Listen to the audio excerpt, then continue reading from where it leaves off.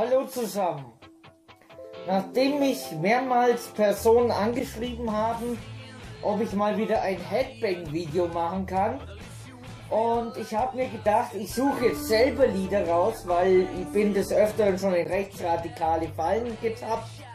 Und deswegen habe ich mir jetzt selber ein Lied rausgesucht, weil, er mit, äh, weil ich irgendwo was von Rammstein gelesen habe. Deswegen habe ich mir gedacht, erkundige ich mich mal danach. Und jetzt habe ich ein Lied entdeckt. Und zwar Du riechst so gut. Also gleich nach dem Intro headbange ich zu Rammstein, du riechst so gut.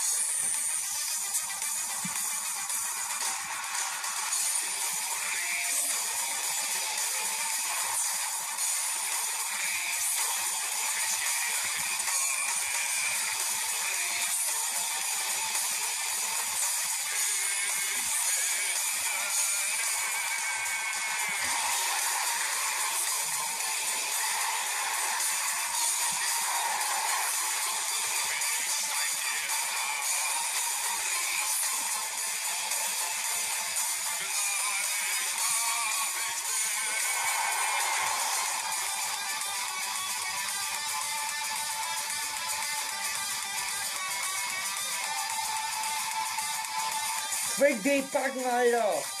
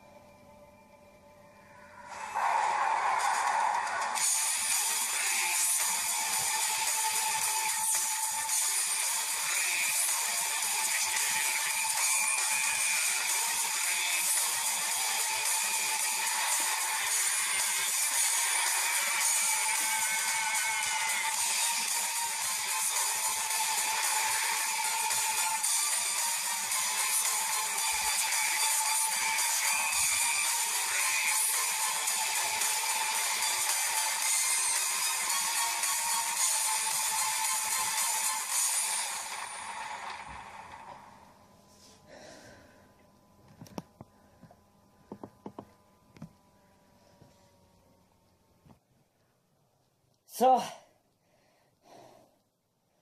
Das war's. Und wenn euch das Video gefallen hat, dann lasst mir einen Daumen nach oben da. Ihr könnt mich wie immer abonnieren und den ein oder anderen Kommentar da lassen. Und ihr könnt mir entweder unter Instagram folgen, wie es da heiße steht, im Bild. Und Basti könnt ihr in Facebook folgen. Ansonsten, wie gesagt, die Lieder zum Headbang ab und an einmal, die suche ich selber raus. Das mit Helene Fischer war bloß eine Idee, da hat mir einer drauf angesprochen, Helene Fischer ist nichts zum Headbangen und deswegen habe ich mir gedacht, lass mal Helene Fischer weg. Ich suche lieber solche Lieder raus, die sind besser zum Headbangen. Und ja, dann wünsche ich euch mal noch einen schönen restlichen Mittwoch. Habe die Ehre, wir sehen uns dann.